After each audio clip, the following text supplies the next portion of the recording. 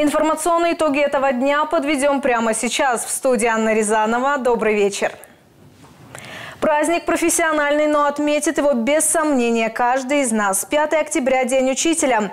Педагоги региона уже начали принимать поздравления, а сегодня их пригласили в правительство области. Зачем, расскажет Артемий Заварзин.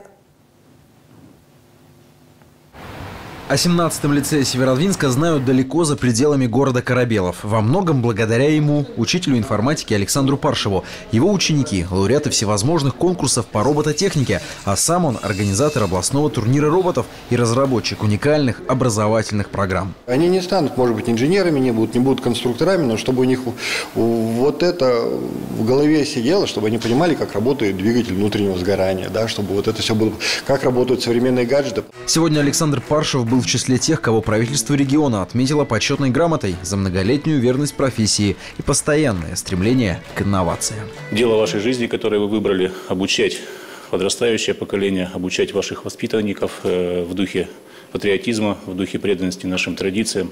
Это очень важное и ответственное занятие.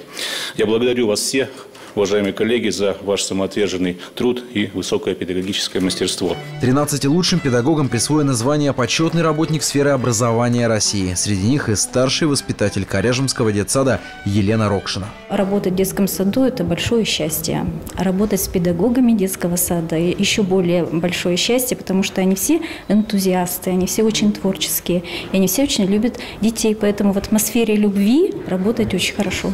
Сегодня в сфере образования Поморья трудятся трудятся свыше 9 тысяч педагогов. Они работают в разных уголках, разных условиях и с разными детьми. Но их глаза всегда горят идеями, а энергия и оптимизм зажигают сердца ребят. Делом и словом. Но лишь учитель зажигает свечи, когда клянут другие темноту. И лишь учитель честен, добр, сердечен. И лишь учитель искренен и смел. Он потому и зажигает свечи, чтобы не дать пробиться темноте. Артемий Заварзин, Сергей Минин, Регион 29. Юным жителям Высокогорского округа будет проще покорять спортивные вершины. В 93-й школе после ремонта сегодня открылся спортивный зал. Работы обошлись в миллион восемьсот восемьдесят тысяч. Это деньги областного и федерального бюджетов. Переоборудовали спортзал благодаря федеральной программе. Всего за три года ее работы в области отремонтировали 38 спортзалов на сумму более 70 миллионов рублей. На новый уровень выходит подготовка, физическая подготовка ребят. И э, нам хочется верить, что э, ребята будут достигать новых спортивных успехов.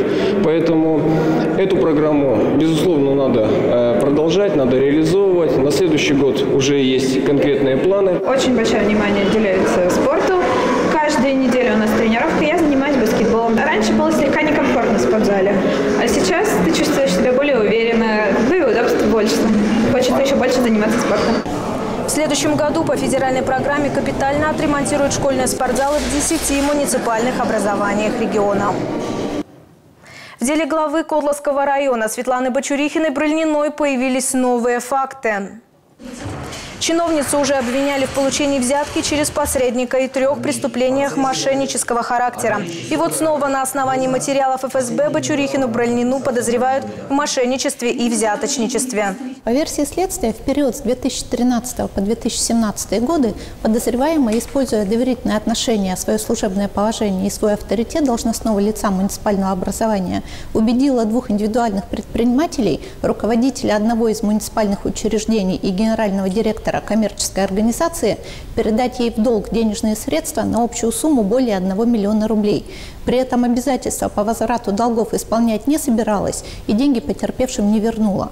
Она же в 2013-2014 годах получила личные через посредника взятку в сумме 750 тысяч рублей от представителя коммерческой организации за общее покровительство при заключении и оплате муниципальным образованием, муниципальных контрактов и договоров. Сейчас Светлана Бочурихина-Брыльнина находится под домашним арестом. Мера пресечения будет действовать до 15 ноября. Теперь в областную столицу уникальная форма политической работы в России. Спецпоезд партии ЛДПР вновь прибыл в наш регион. Вчера он был на перроне Архангельска. Цель организаторов – получить обратную связь от населения. Архангельская область за экватором спецрейса поезда ЛДПР. В столицу нашего региона состав прибыл на 14-й день после старта из Москвы. Всего в маршрутном листе 17 субъектов страны. И в каждом наряду с областным центром обязательные остановки на маленьких станциях. Например, в Поморье их будет более 30. В Архангельский поезд ЛДПР встречали 5 десятков человек. Это не зеваки. Каждый пришел с определенной целью – отправить сигнал о своей проблеме в центр. Проблема. У меня есть проблема с жильем, например, с детьми тоже. Люди к нам подходят и говорят, что очень много за чертой бедностью, что вот и неустроенности малоимущих, многодетных семей. В составе спецпоезда ЛДПР депутаты Государственной Думы, юристы, сотрудники аппарата партии. В регионах к ним присоединяются активисты местных отделений. Но в целом народ приходит и жалуется, я уже сказал, да, здравоохранение, ЖКХ, на власть, что очень плохо работает с избирателями и со своими гражданами. Ну и ругается на депутатов, которые избрались в своих округах и, э, скажем так, избиратели их больше никогда не видят со дня, дня голосования. История спецпоезда началась в 96-м. За 21 год он побывал в самых разных уголках страны. Например, в Архангельск только за 2017 прибыл уже в третий раз. До конца этой недели состав ЛДПР будет колесить по области. Впереди Южный Куст, Светлана Дейнека, Анна Рязанова, Денис Личевский, Архангельское телевидение. Сегодня Архангельск посетил журналист, писатель и телеведущий Владимир Познер. Он побывал и в Северодвинске, где ответил на вопросы прессы. Встреча знаменитого телеведущего, талантливого рассказчика, многократного лауреата премии ТЭФИ Владимира Познера с журналистами длилась больше часа. За это время коллеги по творческому цеху обсудили более 10 вопросов. От влияния на ход истории Октябрьской революции, столетий которой мы будем отмечать через месяц, до роли СМИ в жизни общества и страны в целом. Все-таки журналистика – это профессия, она, одина... и она предъявляет одинаковые требования вне зависимости от средств массовой информации. Телевидение, радио, печать. Требования-то одни. Правдивость, объективность, своевременность. Ну и желательно, чтобы было интересно. Печальная новость. В Санкт-Петербурге на 98-м году жизни скончалась вдова писателя Федора Абрамова Людмила Крутикова-Абрамова. Людмила Владимировна всю жизнь посвятила литературе, критике, изучению творчества многих поэтов и писателей. После смерти Абрамова Людмила Владимировна опубликовала многие повести и романы писателя. В феврале 2020 года знаменитому земляку исполнится 100 лет. К юбилею Людмилы Крутикова-Абрамова мечтала выпустить десятитомное собрание сочинений мужа – создать музей-заповедник имени Абрамова, подарить Веркальскому музею их дом. В 2015 году Людмила Крутикова была награждена почетным знаком за заслуги перед Архангельской областью. Сегодня губернатор Архангельской области Игорь Орлов выразил соболезнования родным и близким Людмилы Крутиковой-Абрамовой. В нем говорится, уход Людмилы Владимировны – это большая потеря для русской словесности, для нашей литературы, для всего нашего общества. Каждая встреча, каждый разговор с ней был для меня отдушенный в повседневной суете, открывал новые грани в творчестве и судьбе Федора Александровича. Конец цитаты. Свое последнее интервью Людмила Владимировна дала нашим коллегам из газеты «Правды Севера». Их оружие – это выгодный ракурс, правильная поза и отличная физическая форма. В Котласе прошло масштабное и яркое соревнование, открытый турнир по бодибилдингу и фитнес-бикини. Олеся Кокина узнала имена победителей. Своими рельефами зрителей покоряли более 40 спортсменов из республики Коми, Ярославской, Кировской, Вологодской областей, Северодвинска и Брянска.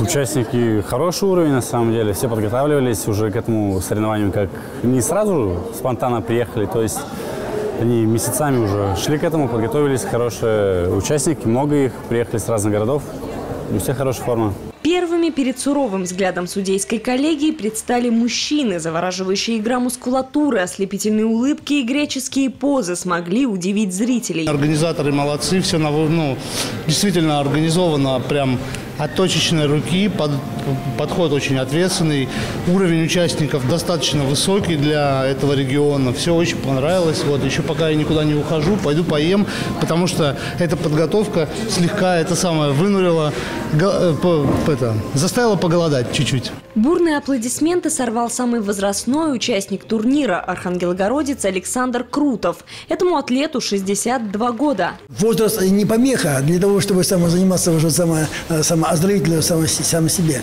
Тем более данного, данного у меня, естественно, подмен физик нету данного момента. Но почему не показать то, то, что может пожилой человек может показать на сцене? Почему нет? Когда на сцену вышли девушки, зал буквально затаил дыхание. Этих участниц вряд ли можно назвать слабым полом. Грациозные и одновременно сильные изгибы, потрясающая фактура тела и великолепный рельеф. Занимаюсь я уже с 2013 года, работаю тренером э, в спортивном клубе Gold Gym. Это у нас э, в Сыктывкаре, э, всемирная сеть. Э, но, к сожалению, в осенний сезон у нас в республике не проходят соревнования. Вот. И нас любезно пригласили поучаствовать в ваших соревнованиях. Победу в номинации фитнес-бикини до 165 сантиметров одержала архангелогородка Анна Зимина. В номинации 165 плюс первой стала Анастасия Кононева из Сыктывкара. Золото в номинации «Мускулар» получил участник и организатор турнира котлашанин Олег Мельков. Олеся Кокина, Елена Кермич, Олег Сивачек, Регион 29, Котлас. На этом у меня все. Завтра с новостями региона вас продолжит знакомить мой коллега Артемий Заварзин. Увидимся.